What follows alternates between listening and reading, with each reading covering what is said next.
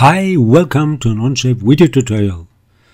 It's the storage compartment, which I did already in some of the other programs. And I use it for a 3D wireframe geometry exercise. But in Onshape there are only a few 3D curves. Those. So I can't really do it with 3D curves, so I will do it with 2D sketches. Let's take a look at the drawing.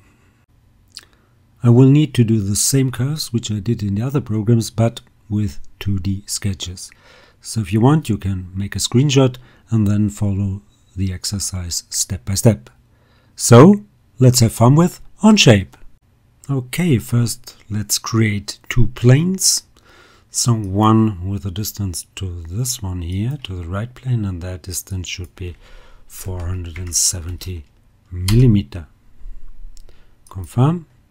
Add another one, and that should have a distance to the top plane, and that distance should be 240. And confirm. Now the first sketch should be on the right plane, so go for a sketch on that plane here. And this should be a line, it should start here, it should go over here, here, maybe you could go for 80 and then go up from this point here like that. Put this point onto that plane coincident. And add an angle between this plane and that one here and this should be 5 degrees. Now add a fillet. Of course you could do the fillet in 3D as well so that's the fillet and that fillet should be 60 millimeter. Yes. And that's my first sketch. Now I want to make an extrude surface. So go for extrude. Yes, it's on surface. Select that sketch here and let it go up to that face or plane here and confirm. Now the next sketches will be on the front plane. In order to make it at least similar, a little bit similar to the other exercises, I want to use arcs and constrain it in a similar way. So, that's not the best or the uh, fastest way to do it, but it's a way. So let's go for a sketch on the front plane. And with 3D, I used an arc, so I will use an arc here as well. So go for a three-point arc. Put that point on this one. Draw it like that, and then like this. Add a radius, and the radius should be 60 millimeter. Now to make it sort of tangent here, you can of course arrange, where is it? There you go that center point with that point here. Okay? Then I need a tangent line or I could do it with two lines here. So let's go for a construction line which goes from this point here to that point and another one from this point to that point. And now we could add an angle and that angle would be 80 degrees. Yeah, it's just a way to do it. You don't have to do it like this. Then I will need a line which starts right there, goes up to that plane, so bring that point coincident onto that plane. Now we can add an angle from this one to that plane here. And that angle in this case should be 10 degrees. Of course you could have added here tangents as well and that's not really necessary. But I wanted to do it as close or as similar as possible as in the other programs. Now leaflet sketch. I want to do another sketch on this plane on that one and again I will have to use edges or at least that point. Let's see if we can bring in that point, just that point. Yeah, it's possible. Then add another three point arc, like this. Okay, that radius should be 50. And now again I can use that vertical constraint to make there a sort of tangency. Now in this case I need a line which goes there and then I want, want to add tangency. Therefore I need to bring in that point here of that line so go to project to convert and then go to the line from this point to that point and then add tangency between this one and that one and confirm now we can do our first loft surface. So I don't want to use the sketch but I want to use those edges here. So go for loft. Yes it's a surface. We can add it to the already existing one.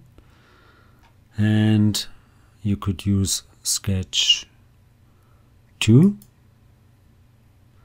and then add one of those edges here. Click here click there. No oh sorry I've no should be okay. I've got edge of extrude 1 that's okay. Now I can add hopefully this edge here. Yes. And then that edge here so I've got the surface kind of hard to select. Okay like that. Again the surface. That's ridiculous. So I want to use that edge. And that's the end profile and I want to go for match tangent. And confirm. Okay same two sketches over here and I will do it in a more efficient way. Okay.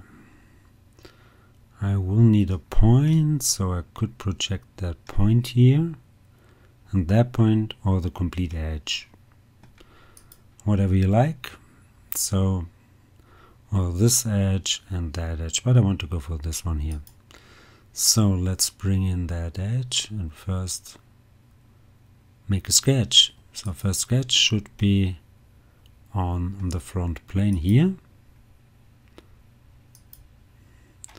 I will need that point here, that one here down below. So go for use project and try to bring in that point, okay. Then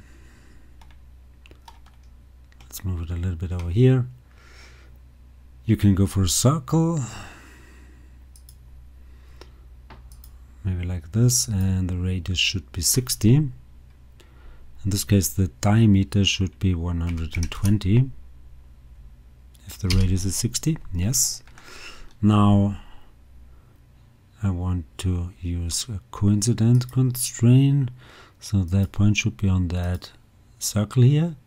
And of course this should be aligned.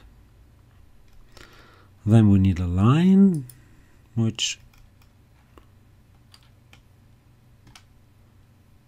is somewhere over here and we could try to snap the tangency. Seems okay. Now that point here should be coincident, of course, in that plane let's try to select it like this okay then add an angle between this one and you could go for that plane. And that angle should be 30 degrees. And now we should be able to trim it. So go for trim and trim this. Looks okay. Leave that sketch. Now the next one should be on that plane. And this one here. Go for top. Again I need a point. so go for the point here this one and I can do it again with a circle and the diameter would be 100 let's move it a little bit over here now again that point should be on that circle. And again those two points should be aligned vertical.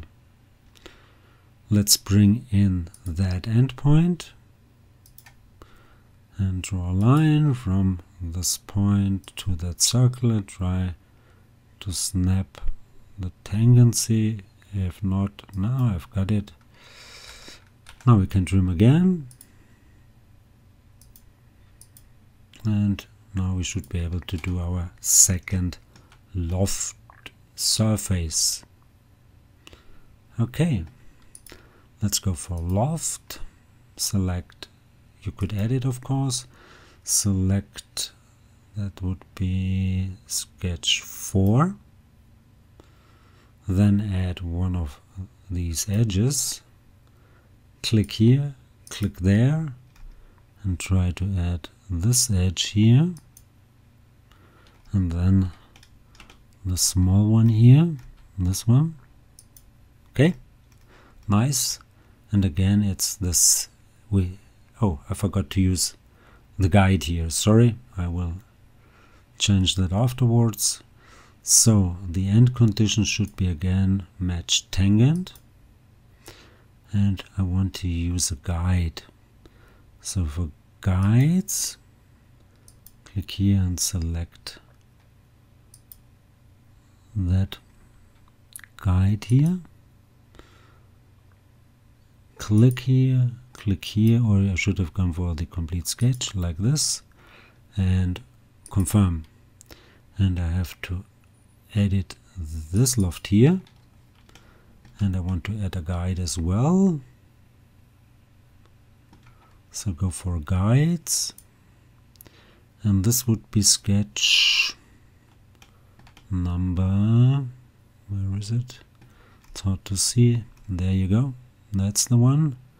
And that should be sketch 3 and confirm.